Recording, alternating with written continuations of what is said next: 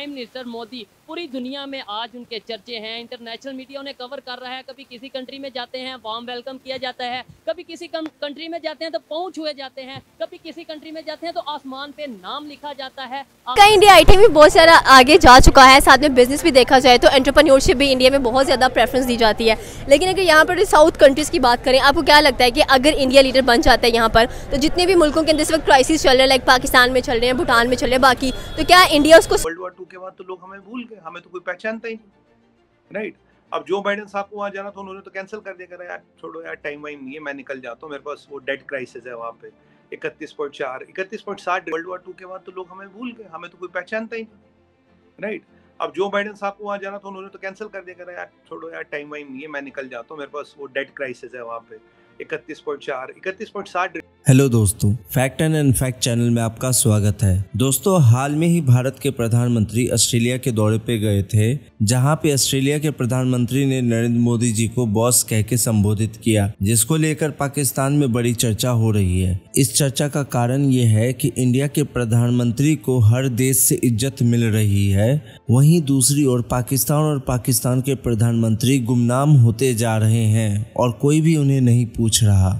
Prime minister Modi पूरी दुनिया में आज उनके चर्चे हैं। इंटरनेशनल मीडिया उन्हें कवर कर रहा है। कभी किसी कंट्री में जाते हैं वार्म वेलकम किया जाता है। कभी किसी कंट्री में जाते हैं तो पहुँच हुए जाते हैं। कभी किसी कंट्री में जाते हैं तो आसमान पे नाम लिखा जाता है। आखिर क्या वजह है? ऐसा कौन सा जादू है जो इंडिया के प्राइम मिनिस्टर नरेंद्र मोदी साहब कर चुके हैं? इसी हवाले से हम बात करेंगे आबिद अली भाई से। असला आबिद भाई। जी सलाम। तो ये बताएँ आपका हाल क्या है? आपकी जो कंडीशन थी, बहुत मैं तब परेशान हुआ। अभी काफ़ी बेहतर नज़र आ रही है, क्या कहना? देखिए, हाल की बात तो हम इनशाला करेंगे, लेकिन बाद में करेंगे। अभी सबसे पहले आज की वीडियो बड़ी इंटरेस्टिंग होने वाली है, बहुत सी बातें करने के लिए। और मोदी साहब के लिए तो आज बहुत ही बातें करने के लिए। तो आपसे वो बातें करेंगे। देखिए, अभी पूरी दुनिया में क्या हो रहा है कि मोदी साहब का आसमानों पे नाम लिखा जा रहा है। किसी मुल्क के वज़ी अजम जो हैं, वो मोदी साहब के पाँव छू रहे हैं। अमेरिकन जो सदर हैं वो मोदी साहब को प्रोटोकॉल दे रहे हैं और मोदी साहब को बॉस कहा जा रहा है। बिग बॉस जो होते हैं ना उन्हें बॉस कहा जा रहा है। अब मैं सिर्फ़ आप लोगों से पूरी आ, अपनी ऑडियंस से पूरे पाकिस्तान से आज ये पूछना चाहता हूँ कि ये गद्दार आपके सामने खड़ा हुआ है। Indian agent Indian agent agent agent Indian agent जो है ना वो आपके सामने खड़ा हुआ है। मुझे सिर्फ़ ये बताइए कि अब जैपनीज पूरे जैपनीज जो है वो भी गद्दार हो चुके हुए हैं। इंडियन एजेंट इंडियन एजेंट है ना वो गद्दार हैं। इधर से जो उनके पाँव छू रहे हैं कौन सी कंट्री है वो?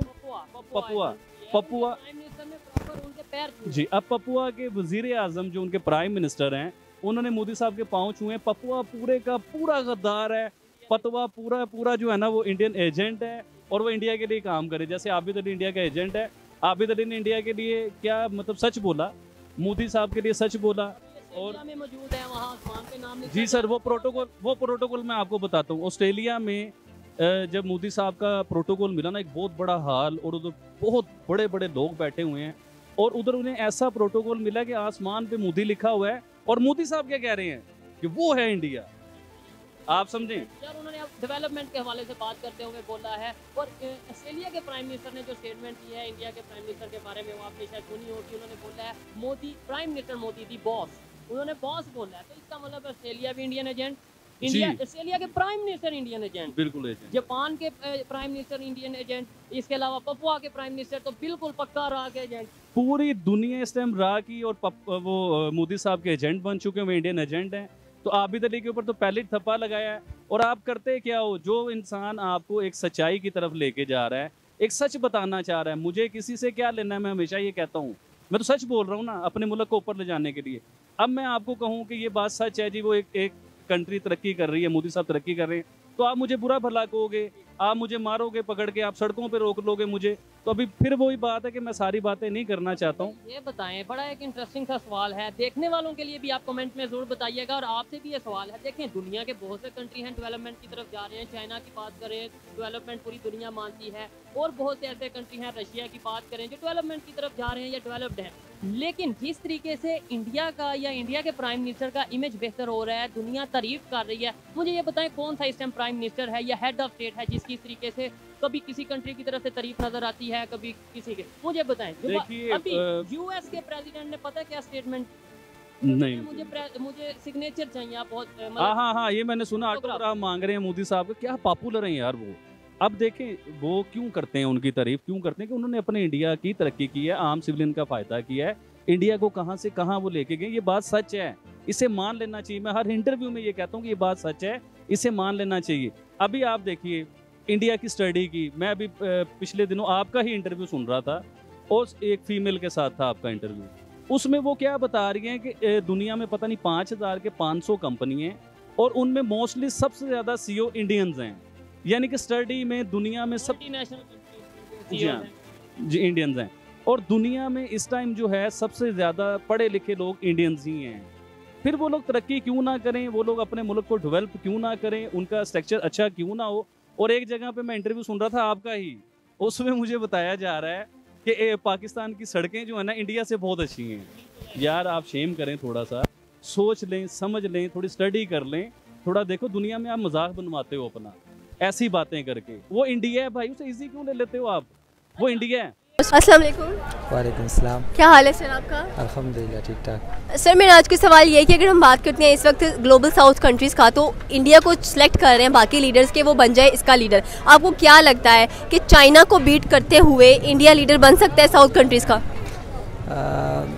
इट्स इम्पॉसिबल क्योंकि चाइना ने जितनी तरक्की की है वो इंडिया मैं तो कहता हूँ सौ साल में भी नहीं कर सकते। क्योंकि इंडिया जो है ना वो आ, जो है ना फ़िज़िकल चीज़ों पर और आ, जो उनके पास जो असलहा वगैरह हैं तो उन पर ज़्यादा वो फोकस करते हैं ना। तो इंडिया मैं कहता हूँ चाइना से बहुत पीछे हैं।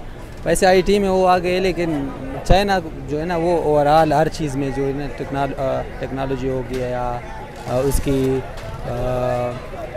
बिज़नेस में हो गया। तो आपने कहा इंडिया आईटी में बहुत सारा आगे जा चुका है साथ में बिज़नेस भी देखा जाए तो एंटरप्रेन्योरशिप भी इंडिया में बहुत ज़्यादा प्रेफरेंस दी जाती है। लेकिन अगर यहाँ पर साउथ कंट्रीज़ की बात करें आपको क्या लगता है कि अगर इंडिया लीडर बन जाता है यहाँ पर तो जितने भी मुल्कों के अंदर इस वक्त क्राइसिस चल रहे हैं लाइक पाकिस्तान में चल रहे हैं भूटान में चल रहे हैं बाकी तो क्या इंडिया उसको सॉल्व कर सकता है? इंडिया तो खुद अपना मुल्क भी नहीं सॉल्व कर सकता है क्योंकि आप उसको देखोगे आ, कितने लोग जो अपने कपड़े भी नहीं है उनके पास खाना भी नहीं है उनके पास। वो तो इंडिया तो पाकिस्तान से भी बहुत पीछे है। असल में अगर देखा जाए वैसे तो ओवरऑल उन पर फ़िल्मों या इस तरह उनसे थोड़ा बहुत पैसा कमा लेता है। वो एक एक बंदे को जाता है पूरे मुल्क को नहीं जा रहा है। तो ओवरऑल जो है ना जैसे मैं तो कहता हूँ पाकिस्तान भी आ गए हैं उससे जनरली देखा जाए। आपको क्या लगता है कि चाइना और इंडिया का तो क्लैश रहेगा ही रहेगा अगर दोनों को इंडिया को लीडर बना दिया जाता है तो पाकिस्तान कहाँ पर फॉल कर रहा है? पाकिस्तान क्या करेगा? मतलब आपका कहने का क्या मतलब? ये देखेंगे पाकिस्तान की तरक्की कहाँ पर जाएगी? क्या इंडिया मिलकर फिर पाकिस्तान को ऊपर लेकर जाएगा? या इंडिया पाकिस्तान को छोड़ देगा? या हम इंडिया के साथ मिलने के लिए तैयार नहीं है? इंडिया के साथ जो है ना हमारा जो है ना ये हो ही नहीं सकता है। क्योंकि अंग्रेज़ों ने हमें जो है ना जुदा किया हुआ है। ये हो ही नहीं सकता है। क्योंकि जब तक हम चाइना के साथ हैं इंडिया के साथ हम नहीं हो सकते हैं। चाइना इधर चली जाएगी तो इंडिया के साथ हम तब होंगे। जब तक हमारा चाइना दोस्त होगा तो इंडिया के साथ impossible thank you so much वालेकुम सलाम क्या हाल है सर आपका? ठीक हूँ। सर मेरा आज का सवाल ये है कि जिस तरह से इंडिया ने तरक्की की है प्रोग्रेस किया है डेवलपमेंट किया है जिस तरह से उसने अपना नाम बनाया है पूरी दुनिया के अंदर उसको देखते हुए बाकी तमाम जो लीडर्स हैं उनका ये कहना है कि इंडिया को ग्लोबल साउथ कंट्रीज़ का लीडर बना देना चाहिए। आपको क्या लगता है कि चाइना भी एग्जिस्ट करता है साउथ एशिया के अंदर? तो इसके बावजूद इंडिया का नाम पहले नंबर पर क्यों आ रहा है? अच्छा इंडिया का नाम पहले नंबर पे तो नहीं आ रहा। चाइना का ही आ रहा है। ओवरऑल दुनिया के हिसाब से देखा जाए और साउथ एशिया में भी चाइना ही सबसे ऊपर है। इंडिया ने नो डाउट के बहुत ज़्यादा प्रोग्रेस की है और वो डिज़र्व करता है, लेकिन अभी उतना डिज़र्व नहीं करता कि उसको साउथ इंडियन कंट्रीज़ या साउथ एशियन कंट्रीज़ का उसको वो बना दें। लीडर ही बना दें जी। तो भी क्या करना चाहिए? अगर देखा जाए तो साउथ में पाकिस्तान भी आते हैं भूटान वगैरह ये सारे भी आते हैं लेकिन क्राइसिस से घिरी हुई है ये सारे की सारी कंट्रीज़ क्या इंडियन कंट्रीज़ को हैंडल कर पाएगा? पाकिस्तान और भूटान और बाकी और कोई भी कंट्री जो है ना वो इंडिया के पास तक भी नहीं है और चाइना तो बहुत दूर की बात है। तो इंडिया आपने सॉरी क्वेश्चन क्या था कि इंडिया क्या कर सके? क्वेश्चन मेरा ये था कि क्या इंडिया उनको संभाल पाएगा जिस तरह से अगर देखा जाए तो? कहा है कि साउथ एशियन कंट्रीज़ का उसको लीडर बना देना चाहिए। और जितने क्राइसिस इस वक्त पाकिस्तान में चल रहे हैं भूटान वगैरह सारी नेबरिंग कंट्रीज़ में चल रहे हैं क्या इंडियन के क्राइसिस को सॉल्व कर सकता? है इंडिया इनके क्राइसिस को सॉल्व करना तो चाहिए क्योंकि अगर नहीं करेगा तो अल्टीमेटली इंडिया का अपना ही नुकसान है। करना तो चाहिए अगर लीडर ना सही है एक बड़ी मेजर पावर होते हुए इंडिया को चाहिए तो सही कि अपने जो नेबरिंग कंट्रीज़ हैं उनको करे सपोर्ट और चाइना को भी चाहिए लेकिन चाइना के होते हुए और जिस जिस तरह चाइना और इंडिया के क्लैशेज हैं मुझे नहीं लगता कि कोई भी एक मतलब कि एक यूनिपोलर हो सकता है। साउथ एशिया में भी बाईपोलर ही रहेगा चाइना और इंडिया के दरमियान बैलेंस रहेगा इसका। इसमें पाकिस्तान कहाँ पर एग्जिस्ट करता है? पाकिस्तान पाकिस्तान इतना ही बहुत है कि आपने कहा एग्जिस्ट करता है इत- इत- इत- इधर तक पाकिस्तान की एक पाकिस्तान की एग्जिस्टेंस पे भी सवाल है। मैं कह रहा हूँ कि एग्जिस्ट करता रहे अभी जो करंट चल रहे हैं पॉलिटिकल यहाँ पे चल रहा है सिनेरियो उसमें एग्जिस्ट करता रहे बहुत है। सस्टेन कर ले अपने आप को बस लगा ही रखें साथ साथ। जब वक्त आएगा फिर देखेंगे पाकिस्तान कहाँ जाता है। बात कर सकते हैं टर्म में बात कर सकते हैं उसमें आप आ, उनकी आईटी सेक्टर की बात कर सकते हैं उनकी फॉरेन पॉलिसी में आप देख लेंगे बहुत ज़्यादा डिफरेंस आया पिछले कुछ सालों में। फिर हम बात कर सकते हैं एग्रीकल्चर में, उनके बहुत ज़्यादा उन्होंने रिफॉर्म लेकर आए हैं। फिर हम आई टी दूसरा ऑटोमोबाइल इंडस्ट्री में देखते हैं। तो नो डाउट इंडिया तरक्की में बहुत ज़्यादा आगे जा रहा है, दुनिया की पाँचवीं बड़ी इकॉनमी बन चुका है। साथ वो मूव ऑन ये नहीं कि वो बस वहाँ पर पाँचवीं इकॉनमी खड़े हैं तो उन्होंने अपना टारगेट आगे भी सेट किया कि हम थर्ड दुनिया की इकॉनमी बड़ा बनना है। तो इंडिया बहुत ज़्यादा आगे है लेकिन जो आप बात कर रही हैं कि साउथ एशिया को वो लीड करेगा तो ये मुमकिन नहीं है क्योंकि पाकिस्तान में पाकिस्तान है इंडिया है चाइना है नेपाल है भूटान है श्रीलंका है। तो यहाँ कभी ना कभी, अब देख रहे हैं श्रीलंका में रिसेंटली क्राइसिस आए। बांग्लादेश में देखने कभी ना भी, कभी कोई ना कोई वहाँ पर भी इसी तरह क्राइसिस आते जाते रहते हैं। और लेकिन यही वजह है कि एशिया में जो है ना स्टेबिलिटी नहीं है। इस वजह से हम ये बात नहीं कर सकते एशिया में वो चीज़ अ, वो इंडिया उस पर होल्ड कर पाएगा। हाँ ये उसकी मुताद हम ये कह सकते हैं कि अगर आपस में जो हमारे कॉन्फ्लिक्ट ये ख़त्म हो जाएँ तो फिर नो डाउट इंडिया कर पाएगा। हमारे कॉन्फ्लिक्ट अगर देखा जाए तो बिल्कुल खत्म होने का नाम नहीं ले रहे हैं एंड स्पेशली अगर देखा जाए तो पाकिस्तान चाह भी नहीं रहा कि इंडिया के साथ किसी किस्म के ताल्लुक रखे। हम हर बात पे स्टांस ले लेते हैं। रिसेंटली अगर जी ट्वेंटी की मीटिंग की बात करें हम लोग तो बाकी सारे मुस्लिम ममालिक इंडिया के साथ हैं खड़े हुए हैं वहाँ पर कि हम जी ट्वेंटी की मीटिंग अटेंड करने आ रहे हैं श्रीनगर। लेकिन पाकिस्तान वाहिद है जो कि इस बात पर अड़ चुका है कि जब तक कश्मीर का मुद्दा सॉर्ट आउट नहीं होता हम नहीं आ सकते यहाँ पर बल्कि श्रीनगर की बजाय आप कहीं और ये मीटिंग रखवाएँ। आपको क्या लगता है कि पाकिस्तान इतनी बुरी सिचुएशन से खुद गुजर रहा है और साथ में डिमांड्स भी रख रहा है? मेरी बात सुनिए आपके लिए आपकी सबसे बड़ी चीज़ आपकी सॉर्मिटी और डिग्निटी है या नहीं है? मुझे ये बताएँ। देखिए- अपनी और डिग्निटी पसंद है या नहीं है? सॉवरेंटी और जो डिग्निटी होती है ना वो हर बंदे को इंपॉर्टेंट होती है लेकिन तब इंपॉर्टेंट होती है जब आप उसके लायक भी अपने आप को बना रहे होते हो। आपको बताता हूँ कि अपना साथ अफ़गानिस्तान ले लें कितने कंट्रीज़ ने वहाँ पर कितनी सुपर पावर वहाँ पर हमला किया? वहाँ पर रशिया की बात कर लें आप उसके बाद अमेरिका रहा है वहाँ पर। हाँ तो देख लेना सोवियत यूनियन के दौर में वहाँ पर आए वहाँ पर सबसे ज़्यादा किया गया फिर अमेरिका आया। लेकिन उन्होंने अपनी सॉवरेन और डिग्निटी के लिए उन्हें अपनी इकॉनमी ज़रूर था नीचे चली गई लेकिन उसने अपने कंट्री में किसी का इन्फ्लुएंस बरकरार नहीं रखा। अपना जो फॉरेन पॉलिसी थी उसकी उसके जो नज़रियाती आइडियोलॉजी थी कभी आप मुल्क आते रहते इकोनॉमिक क्राइसिस आपको पता है इंडिया पे भी आया था 1991 बिल्कुल आया। में लेकिन उन्होंने गोल्ड गिरवी रखकर अपने आप को सिट किया। स्टेबल किया। लेकिन उन्होंने पाकिस्तान उनके ये नहीं कहा हमने कश्मीर का सौदा हम कर लेंगे या कश्मीर के साथ वो कर लेंगे।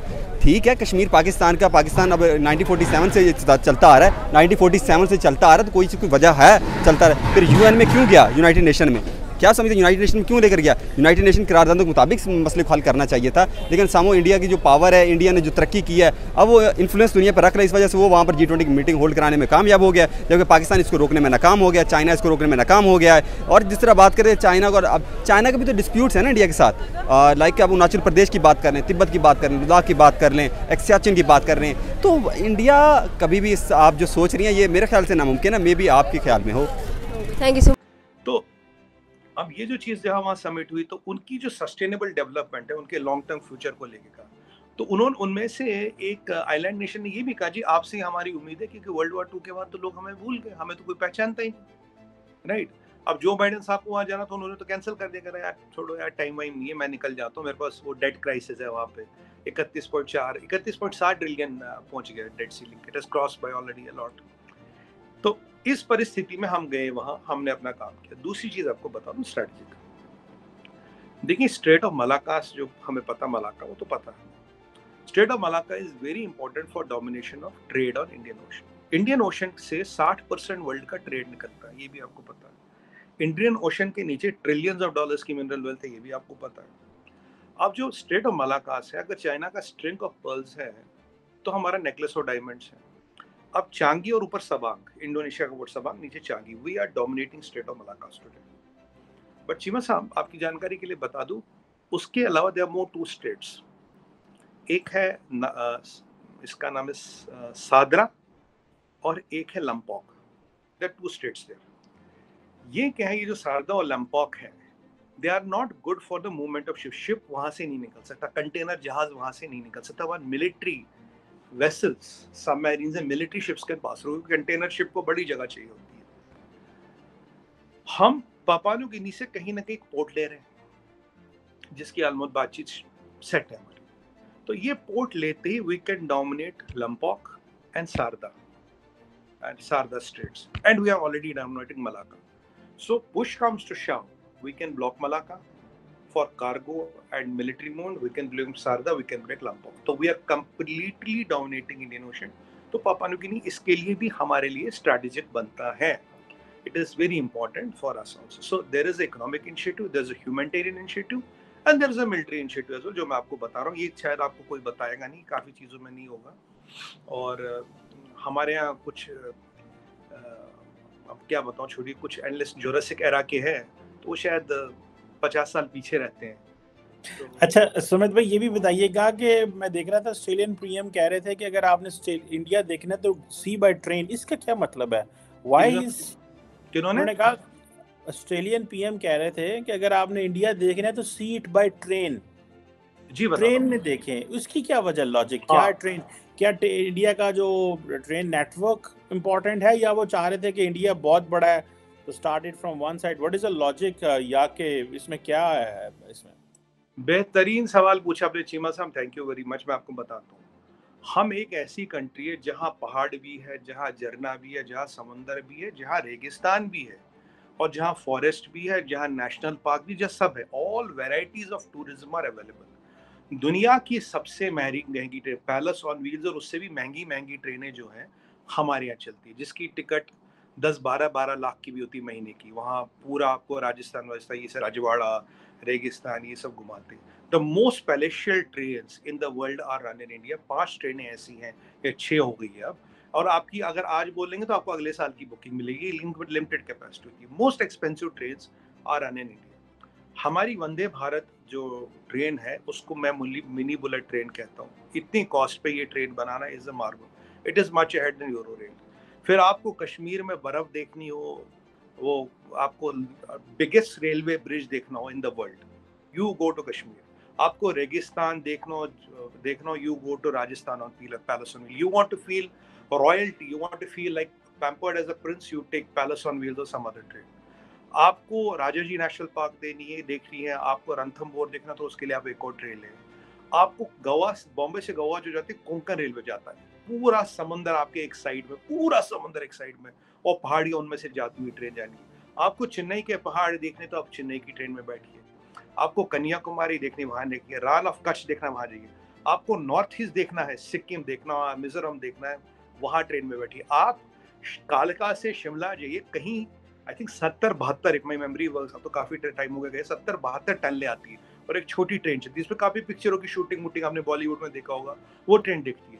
तो अगर भारत को देखना भारत को फील करना जहाज़ तो चीमा साहब अब साइबेरिया के ऊपर उठे या शाहजहांपुर के ऊपर जहाज़ तो सेम ही लगता ना आसमान तो सेम है।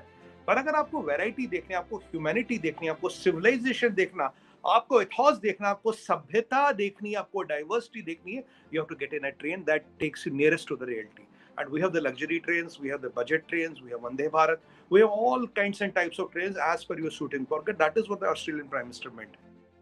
जोश एनर्जी कोई हम्म। स्वाभिमान नहीं कोई घमंड नहीं कोई ईगो नहीं किसी भी तरीके का ऐसा कुछ भी नहीं जो किसी वीआईपी को दर्शाता हो हर वो कला हर वो हुनर हर वो अपनाइत जो एक मामूली साधारण व्यक्ति के अंदर होनी चाहिए एक सिटीजन के अंदर होनी चाहिए एक हिंदुस्तान की सभ्यता और संस्कार को सामने रखते हुए एक ऐसा व्यक्ति जो बहुत गरीब घर से आ रहा है जिसके यहाँ शीशे और बहुत महँगे महँगे बर्तन ना हो करके स्टील के बर्तन होते हैं और ऐसे घर का एक व्यक्ति भारत का प्रधानमंत्री बनता है और जिसके लिए ऑस्ट्रेलिया का पीएम एंथनी एल्बेसन कहते हैं कि ही इज़ द बॉस जिसके लिए आपके मॉर्निंग कंसुलेट सर्वे कहती है कि सेवेंटी परसेंट अप्रूवल जो है वो in entire world popular leader का मोदी जी के हाथ में जाता है। ये हमारा सर्वे नहीं है, ये हिंदुस्तान का सर्वे नहीं है, ये फॉरेन कंट्री का सर्वे है। मॉर्निंग कॉन्सुलेट सर्वे जो है, वो बाहर के लोग करवाते हैं। देखिए, एक ऐसा सदस्य जिसने गरीबी देखी है, जिसने धूप देखा है, जिसने छाव देखा है, जिसने बारिश देखी है, जिसने भूख, भूखा पेट, भूखे पेट का दर्द सहा है, जिसने हज़ारों करोड़ों लोगों की गालियाँ सही है, क्योंकि गरीबी गाली सुनते हैं, गरीबी पत्थर खाते हैं।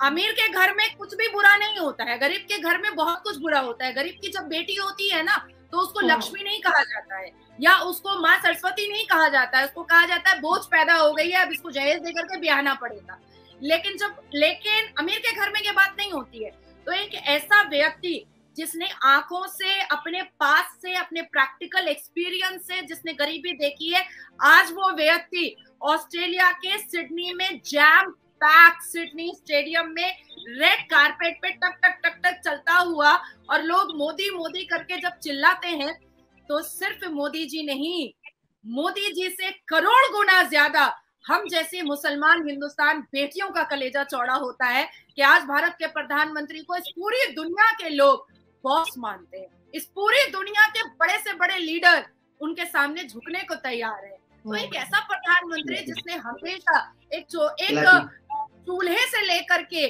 शौचालय से लेकर के इकोनॉमिकल से लेकर के हर एक चीज़ पर नज़र रखी। तो ये है हमारे प्रधानमंत्री। मैं एग्री करता हूँ हर एक बात से।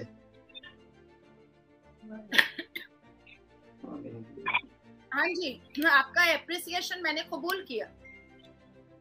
Thank you so much Australia की मीटिंग में जिस हिसाब से पीएम मोदी ने एक इमोशनल बहुत खूबसूरत एक स्पीच रखी थी, जिसकी वाहवाही सिर्फ़ हिंदुस्तान में नहीं, बल्कि पूरी दुनिया में हो रही है। उस स्पीच में ना कि सिर्फ़ उन्होंने अच्छे, मज़ेदार, लजीज खानों की तारीफ़ की है, यहाँ तक कि उन्होंने कानपुर लखनऊ की तारीफ़ की है, उन्होंने सिडनी के पार्क की तारीफ़ की है, बच्चों की तारीफ़ की है, सिडनी के खाने की तारीफ़ की है। यहाँ यहाँ तक कि उन्होंने आज़ादी के पचहत्तरवे साल पे आज़ादी का अमृत महोत्सव मनाने तक को कहा कि ऑस्ट्रेलिया ने बराबर का बराबर की हिस्सेदारी रखी है। आज़ादी का अमृत महोत्सव मनाया है। बहुत सारे जगहों पर ऑस्ट्रेलिया में मनाया गया है जिसकी खुशी हम लोगों को भी हिंदुस्तान में बहुत ज़्यादा हुई थी। साथ में थोड़ा सा हाँ। हमारे पीएम इमोशनल हुए थे। जो नरेंद्र मोदी के पाँव को छू रहे थे। हाँ। वो ना मैंने देखा कि पाकिस्तान में ना वो वीडियो बहुत ज़्यादा वायरल हो रही है। पाकिस्तान के, टिकटॉक के ऊपर आप देख लो फेसबुक के ऊपर आप देख लो यूट्यूब के ऊपर हर कोई बंदा उसके ऊपर डिबेट कर रहा, बातचीत कर रहा है। और ये नहीं कि नेगेटिव वे से बातचीत हो रही है, तारीफें हो रही हैं। मैं चाहता हूँ कि पाकिस्तान भी इतना कुछ करे करे यार बाहर से कोई भी वज़ीर आज़म आके पहुँच हुए। यहाँ पर बहुत सारे लोग उसको ना पॉजिटिव वे में लेने के बजाय वो कहते हैं कि इंडिया का कल्चर यही है। मैंने कहा इंडिया का अगर कल्चर यही थे तो यहाँ से बिलावल भुट्टो भी गए थे, उनको भी पाँव पे गिर जाना चाहिए था। मैंने कहा कल्चर नहीं है। अगले बंदे से काम निकलवाने के और देखे ना, एक बड़ा वज़ीर आज़म जब किसी दूसरे वज़ीर आज़म के पाँव पकड़ता तो उसका मतलब ही यही है कि भाई यू आर द बॉस मुझे ना एक चीज़ से बड़ा दुख होता है जब हमारे प्राइम मिनिस्टर के लिए बयान कुछ इस तरह से आते हैं। हमारे फॉरेन मिनिस्टर इंडिया है। आप लोगों ने उसकी तरह की रिस्पेक्ट नहीं दी। ये ये बहुत ये ये बहुत ये बहुत बड़ा सवाल है क्वेश्चन मार्क है इंडिया के लिए। अगर कोई मेहमान हमारे पास आते तो हम हम उसके लिए सब कुछ मार देते हैं। मेहमान की रिस्पेक्ट करते हैं। Why are you are not ये वही आपके पाकिस्तान की शाजिया मर्री मंत्री है ना, जो हमारे हिंदुस्तान के father of nation Gandhi ji को गालियाँ दे रही थी। ये वही आपके बिल्लो रानी है ना, बिलावल, जो हिंदुस्तान में ठूस कर चले गए दो दिन, गोवा की सैर करके चले गए दो दिन मज़ा मज़ा खाना खाया दो दिन, ठूसना तो नमक खा लिया और जाकर के पाकिस्तान में एनाकोंडा की तरह जहर उगलना स्टार्ट कर दिया। ये आपकी तरबियत है, ये इस्लाम बोलता है। हमने जितनी इज़्ज़त दी है, हमने जितना मर्तबा दिया है वो शायद उनको और कोई भी कंट्री नहीं देता होगा। अब रही बात कि टेररिज्म इंडस्ट्री को टेररिज्म इंडस्ट्री ही बोला जाता है और कुछ नहीं बोला जाएगा। आज आपको इस पूरी दुनिया में सबने उड़ाकर फेंक दिया है। पाकिस्तान के मंत्रियों को और पाकिस्तान देश को कोई थूकना पसंद नहीं करता है। तो इसमें हमारी क्या गलती है भाई? हम क्या कर सकते हैं? हम तो कुछ नहीं कर सकते। हमारा संस्कार है पैर छू करके नमस्कार करना। हमारा संस्कार है हाथ जोड़कर नमस्कार करना। अब इसमें अगर आपको बुरा लगता है तो लगे मुझे कोई प्रॉब्लम नहीं है। भाई आपके फॉर्मर प्राइम मिनिस्टर तो आप आ, आ, क्या आ, जिन जिन्नात पेदनी रखते हैं। जिन्ना की आपने बात की तो जिन्ना भी एक अच्छे लीडर थे हमारे और जिन्होंने पाकिस्तान बनाया लेकिन पाकिस्तान का हमने नक्शा चेंज कर दिया। पाकिस्तान के इस किस्म के आप लोग कर सकते हैं आप लोग आपका जो दिल करे जैसी आपको बात लगे मैं हर बात से एग्री कर रहा हूँ बिकॉज़ आपके पास वो चीज़ें हैं जो हमारे पास नहीं है मौजूदा टाइम आप लोग के पास सक्सेस है आप लोग बातें कर सकते हैं भाई।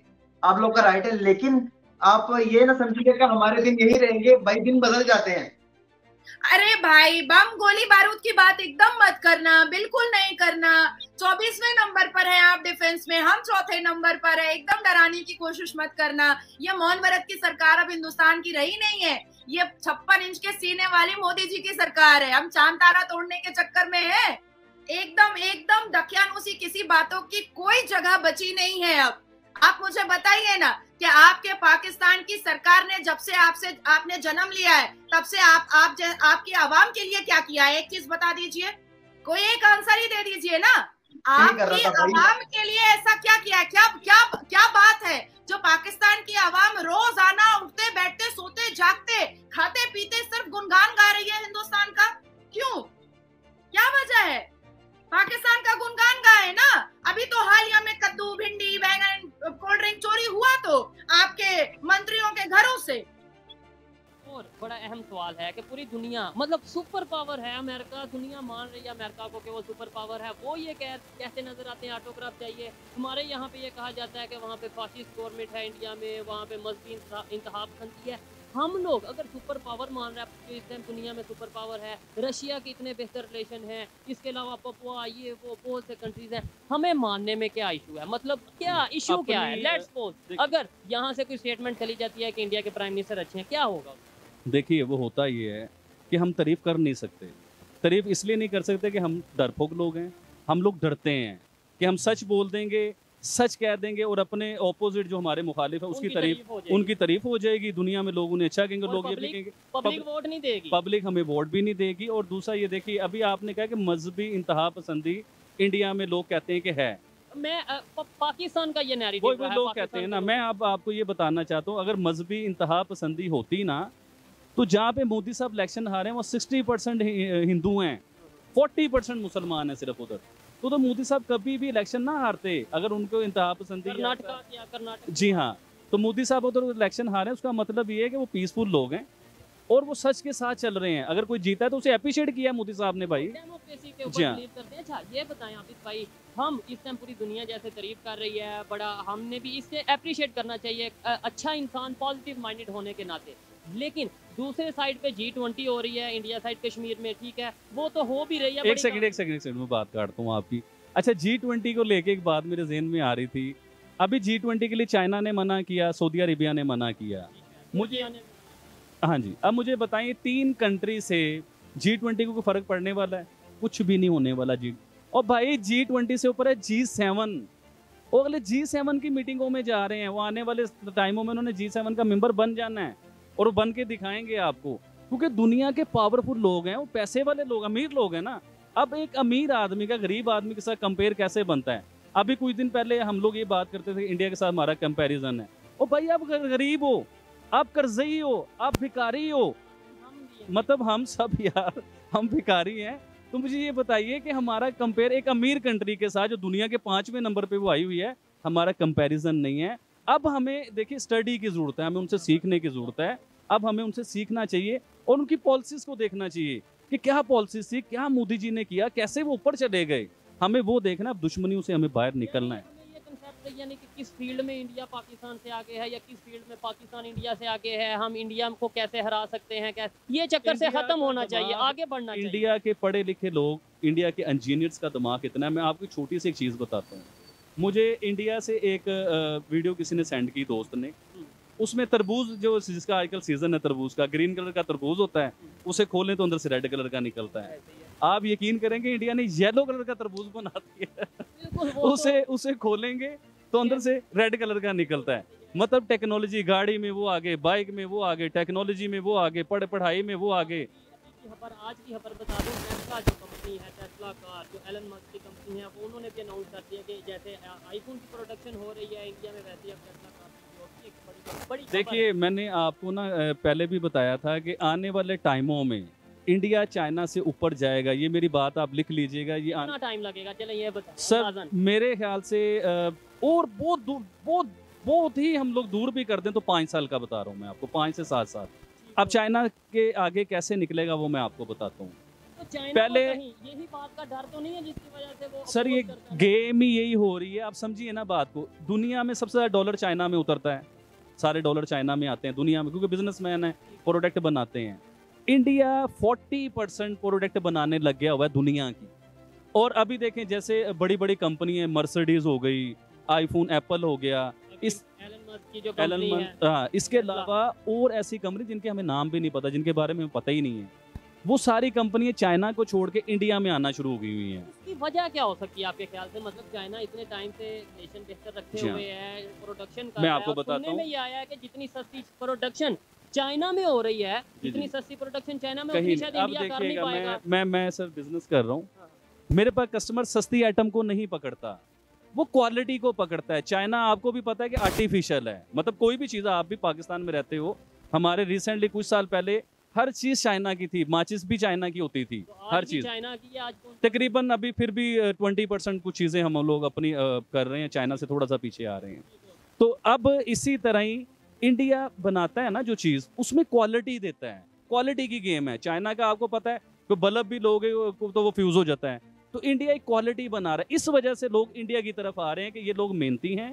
अमित भाई, आपसे पूछना ये था कि प्राइम मिनिस्टर मोदी ऑस्ट्रेलिया के विज़िट पे हैं। उससे पहले एक जो, सारे इंडो पैसिफिक के जो ममालिक हैं सॉरी पैसिफिक जो ममालिक हैं, उनके आइलैंड जो हैं, उनके साथ एक मीटिंग की पपन न्यू गिनी में।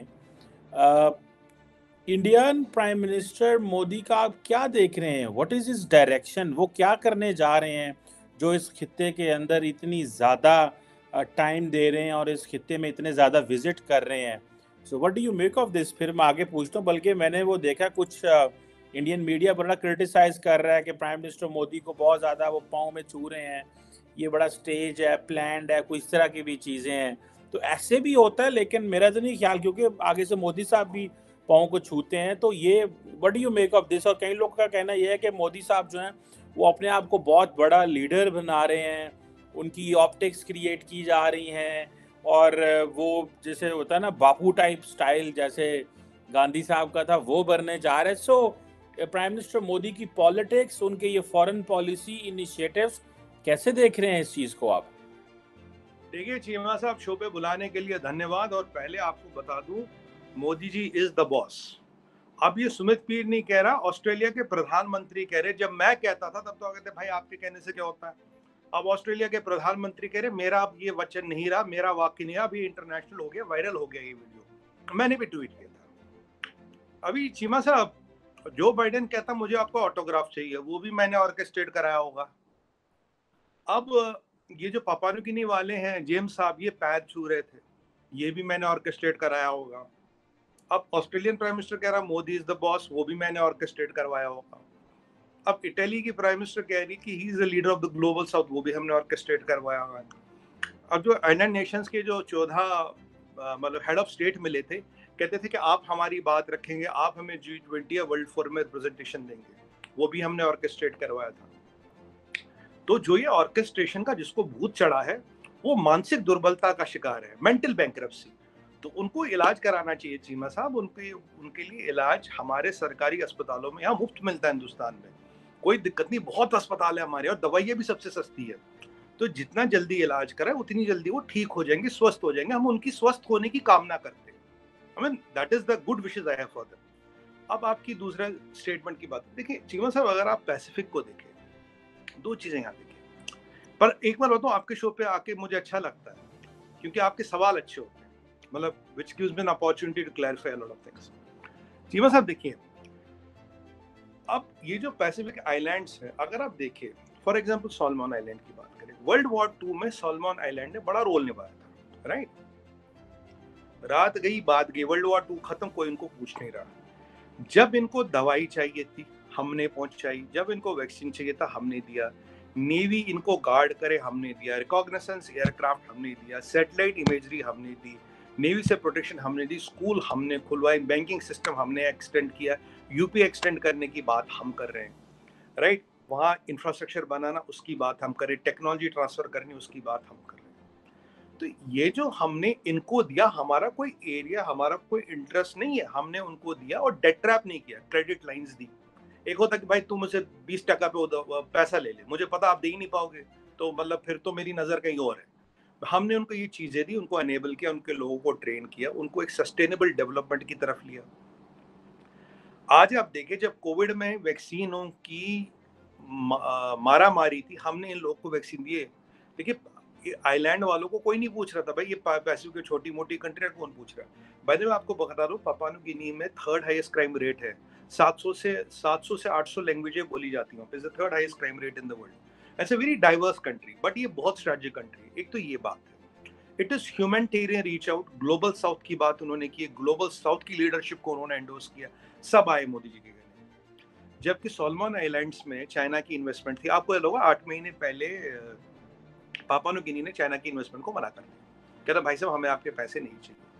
हमारे, आपने देखा, स्वागत हो रहा मोदी जी के पैर छू रहे। पैर छूना चीमा साहब हिंदू सभ्यता में, भारतीय सभ्यता में इज़्ज़त देना होता है। It is not supremacy it is not कि हम आपको डोमिनेट कर रहे हैं। आप मुझे इज़्ज़त दे रहे as elder you are giving respect हम भी अपने बड़े बूढ़ों के पैर छूते हैं। हम भी कोई ऐसा मोदी जी से व्यक्ति मिलते हम भी पैर छुएँगे। ये इज़्ज़त देने वाली बात है। इसमें it is not a question of supremacy या झुकना या कुछ। ये आप इस चीज़ों को मिक्स ना करें।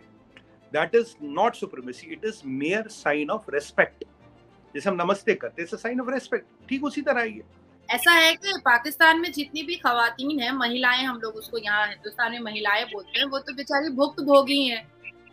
कभी तलाक का शिकार, कभी पॉलीगेमी का शिकार, कभी हलाला का शिकार तो कभी डोमेस्टिक वायलेंस का शिकार, कभी गालियों का शिकार, कभी लूज कैरेक्टर का शिकार शिकार। तो इसलिए मर्द जितनी अच्छी अच्छा डेफिनेशन दे पाएँगे और जितना अच्छा क्लैरिफाई कर पाएँगे पाकिस्तान को उतना अच्छा औरत बेचारी कर नहीं पाएँगी क्योंकि बहुत भोगी हुई है ना वहाँ पर।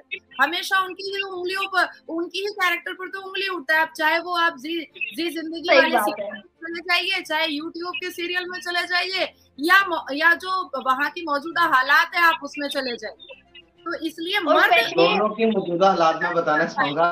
सिर्फ़ पाकिस्तान में नहीं ये ये वायलेशन है। ये मैं कहूँगा पाकिस्तान और इंडिया और दुनिया के हर कोने के अंदर ये चीज़ें पाई जाती हैं कि कहीं ना कहीं अगर औरतों पर औरतों के कहीं ना कहीं किसी भी चीज़ के अंदर कहीं ना कहीं औरत खुद अनसिक्योर भी है। आज चाहे पाकिस्तान की बात कर ले चाहे इंडिया की बात कर ले। मुजम्मिल मुझे लगता है कि जो लोग इस्लामिक कंट्री का सुरक्षा कवच पहने हुए हैं उनको तो ये बिल्कुल नहीं करना चाहिए। किसी भी हाल में नहीं करना चाहिए क्योंकि हमारा इस्लाम और कुरान तो इस बारे की इस ये सब दकियानूसी चीज़ों की इजाज़त देता नहीं है। हमारा इस्लाम कहता है जहेज लानत है मलामत है नदामत है पर कूट कूट के लेते हैं जहेज पाकिस्तान में। तो मुझे लगता है कि अगर आप अपने आप पूरे पाकिस्तान में नहीं लेते। ज़रूरत नहीं। पूरे पाकिस्तान में जहेज लेते पंजाब के अंदर जहेज लेते हैं क्योंकि पंजाब कन्वर्टेड है पूरा। अगर बात करूँगा मैं पंजाब की तो पंजाब के अंदर पूरा एक मिनट में बात तो मैं आपको पिशावर और लाहौर का पूरा डेटा दे देती हूँ कि कितना जहेज की वजह से वहाँ पर तलाक हुआ है। आपको कहीं ना कहीं आप देखेंगे देखिए मेरी बात सुने। आप अगर इस्लाम की बात करेंगे ना इस्लाम में जहेज हराम है। जहेज लेना हाँ, और देना दोनों ही हराम है।